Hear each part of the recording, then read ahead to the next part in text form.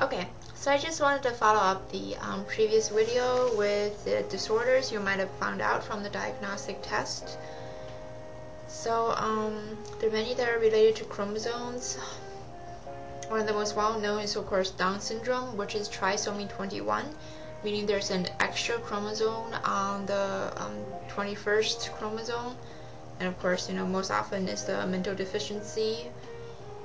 And um, there are also uh, sex-linked chromosomal disorders. Um, one of them is the Klinefelter syndrome, which is basically you have two X chromosomes and one Y chromosome. So basically, the boy has an extra X chromosome. The symptoms include um, enlarged breasts, um, smaller testes, and quite tall. And the opposite, though, that one is the um, XYY syndrome, meaning you have an extra Y syndrome, extra Y chromosome. At first, it was thought that boys who had this would be more aggressive and violent, but um, studies has found that it really doesn't make a difference. Um, the other one is um, girls, are Turner, which just means instead of two X, um, you have an XO. So girls who usually have this are kind of short, um, not very good at mathematics, but their verbal abilities are pretty good.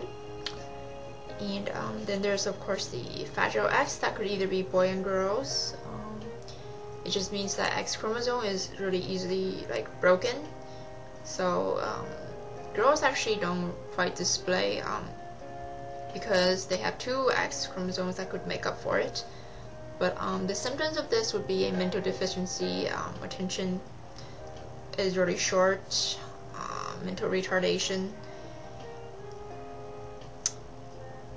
Uh, oh, yeah, going back to the Turner's uh, syndrome, the girl who has this would be infertile because, you know, she only has one X uh, chromosome.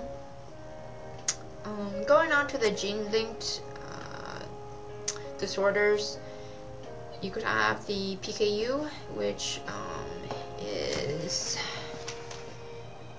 uh.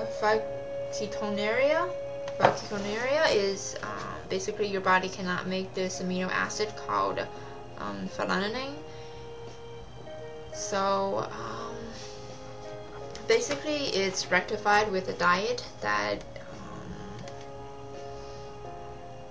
don't let you uh, have excessive accumulations of um, and if um, left untreated it could lead to you know mental retardation and hyperactivity. And the other one you've heard of before is the sickle cell anemia. Basically um, your blood cell is shaped like a sickle cell.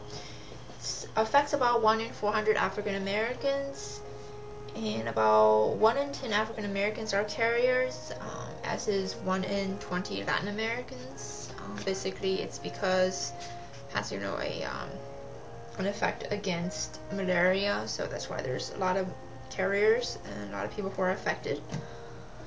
So, basically, these are the um, abnormalities you could have